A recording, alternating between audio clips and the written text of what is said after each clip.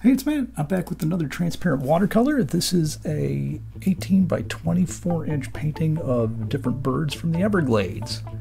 I got photos of the, for reference for these on a couple of different trips down to the Everglades. Um, some with my brother and uh, another one with my family.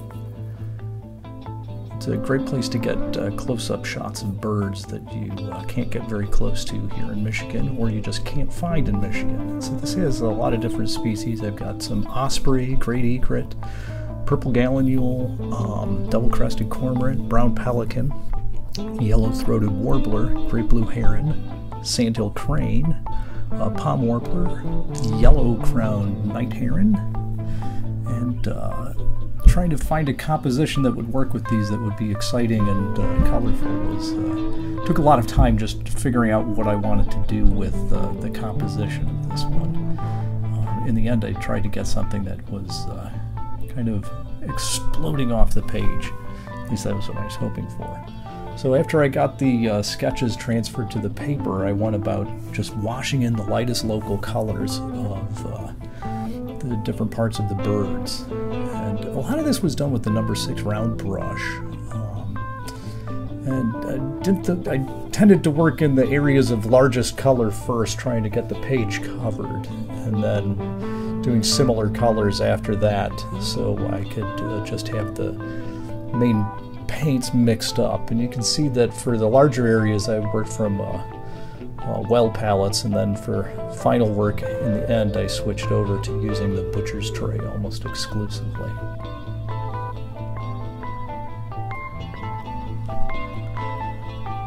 And this was done just glazing in many, many layers of color once I had the main ones established.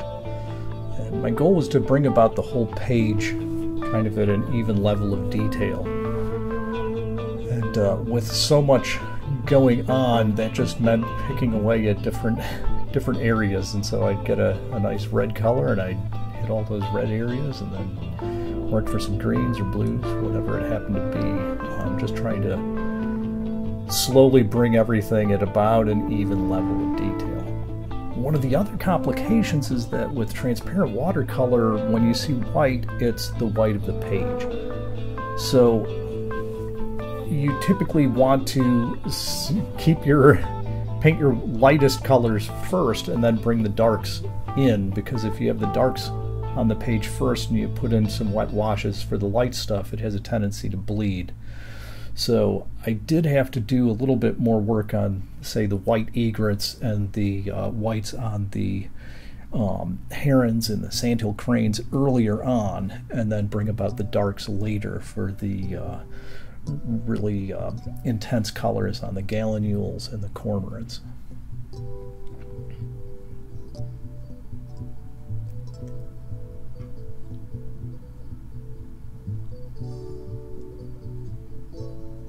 And a lot of the time of this was, it took a lot of time just figuring out what to do with the composition of the, the painting. I wanted to kind of have this um, excited colors of the uh, rainbow tones from blues to greens and uh, purples of the gallinules as kind of a black background element, and then have these other things kind of pushing outward from that.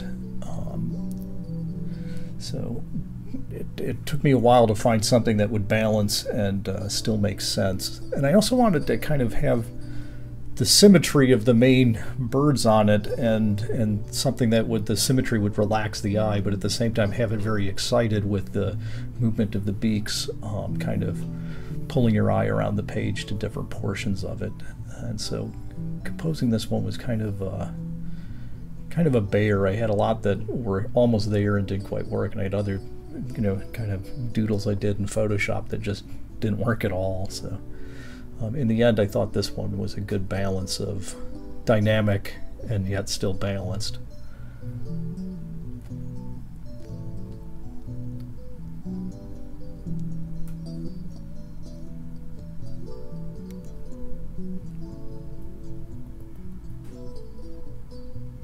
At this point, I pretty much switched over to the uh, butcher's tray for most of the painting. Um, for some of the larger areas on the gallinules, I went back to the wells. Um, and that allowed me to just mix up a color and, and be consistent with that throughout the birds.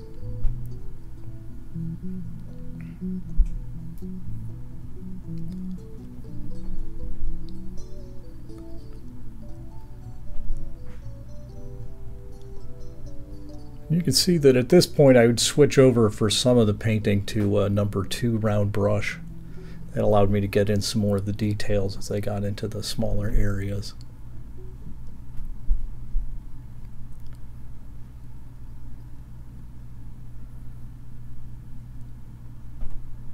Painting the gallinules was uh, challenging but fun to keep the intensity of the color and yet still have it rounded out. And you know, I, I went from for the darkest parts. I had some uh, really dark mixes of dioxazine um, purples, and then bringing the, in some of the ultramarine blues and uh, some phthalo blues too to knock it back, and then rounding that up to moving more towards just the ultramarines, and then to the phthalos, and then to the greens eventually, and uh, kind of getting the balance as you went through that progression of colors was uh, a little difficult because the the phthalos is phthalo paints are staining paints, whereas the ultramarine is more of a sedimentary paint. So keeping that looking right and grabbing the paper at the right rate, um, you had to do it in many layers and kind of ease into it to have it really work. At times I'd rotate the page around so it was a little bit easier for me to reach the parts of the painting to get to the detail.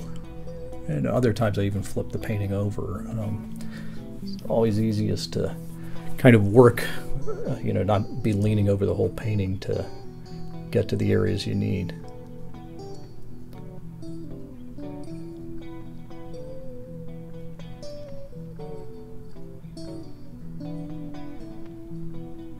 My photo reference for these little yellow-throated warblers were substandard, but uh, I was able to get a decent uh, look from them. In, in my reference, they were shot through a window and uh, they weren't all that close, so they were a little bit fuzzy. So I had to kind of imagine some of the detail that was in there by using other reference material.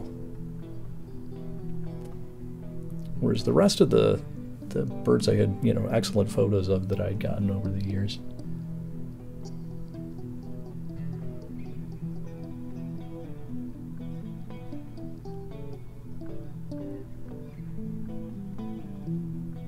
Paintings like these just take an extraordinarily large amount of time because every square inch is detail on these. There's no real, you know, it's not like you have a big fuzzy background for the sky that you kind of can wash in quickly and is a little less important and you can uh, have it fade off. With this, it's it's pretty much all business all the time, and so these these just take forever to do. You know, it'd be fairly easy to just you know take these images from other paintings in Photoshop and snip them out and make a collage out of them. But uh, the real the real art in this, for me at least, is having it all on one page and having um, you know getting it all painted correctly.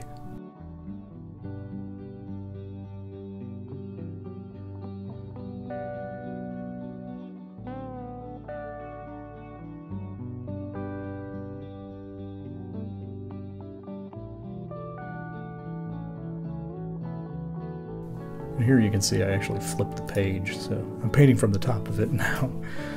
But uh, that allowed me to reach these little details of the uh, osprey and things that otherwise I'd be leaning all over the page for. I'd say the most fun of this painting, other than the painting those rainbow kind of tones on these gallinules was a lot of fun. But once you had one done, kind of all the others were the same basic technique. I'd say the eyes on the cormorant were just so much fun to paint because it was an overcast day when I got those photos at Anhinga Trail in the Everglades. And it had this beautiful rim of light from the horizon on it. And trying to capture that um, on the on the eyes of the cormorant was just fun, and they they do have a just a gorgeous blue green eye that is you know I know they're common birds and they're some people are annoyed by cormorants, but you know Nothing's prettier than those eyes. They're like little jewels.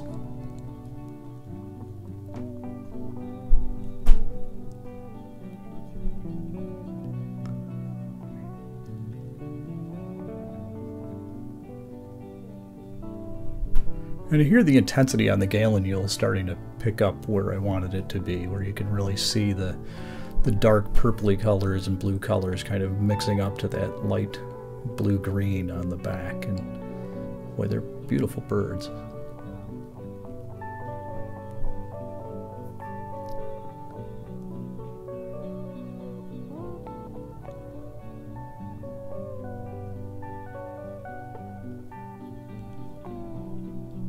Pretty much toward the end of the painting I was using a number two brush or in some cases a 10 aught brush to get tiny little details of the the hairs and the little uh, you know creases around the eyes and little feathers around the uh, around the heads and nostrils and things like that so it ended up being picking away at all these tiny details late in the painting.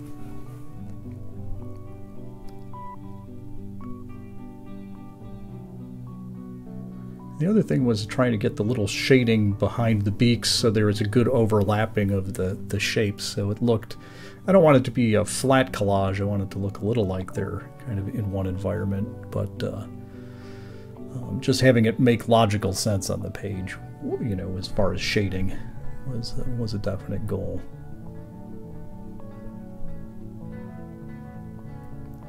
So there you go, an 18 by 24 inch transparent watercolor of Birds of the Everglades. Thanks for watching. If you get a chance, uh, have a peek at the blog or the website.